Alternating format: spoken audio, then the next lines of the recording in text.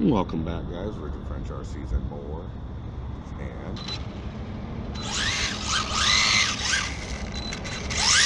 guessed it, we got another Charger video.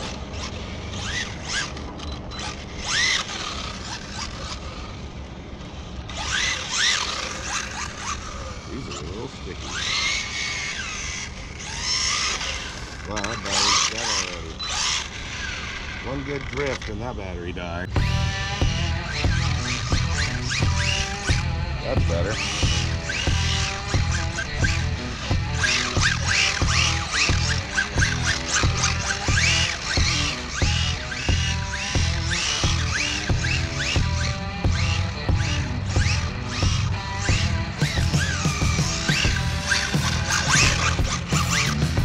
Yeah, those aren't so bad now.